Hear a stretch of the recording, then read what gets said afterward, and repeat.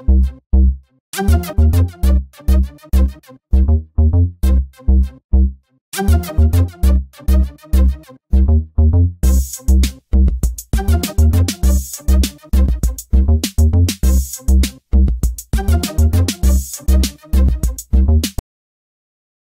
becoming more popular and easier to broadcast yourself live over the internet.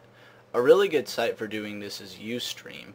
A lot of people like um, use Ustream. Gigafide and Chris Pirillo are just a few examples of people that use this now.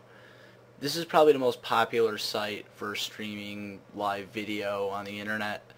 And um, I've been asked a question, can you record your screen live over Ustream? And the answer is yes. Once you got um Ustream, once you've got your Ustream account signed up and made, you're going to need um a software package called ManyCam. I'll provide a link in the description to where you can get it, and it's free. Uh, once you've got that downloaded and installed, you can start broadcasting now.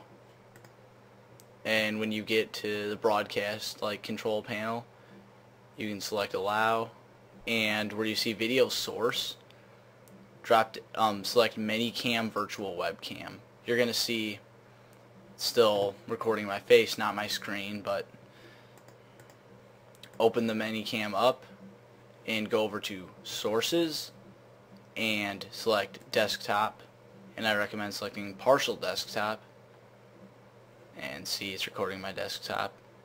And when I go back to the Ustream control panel it's recording my desktop which is pretty cool.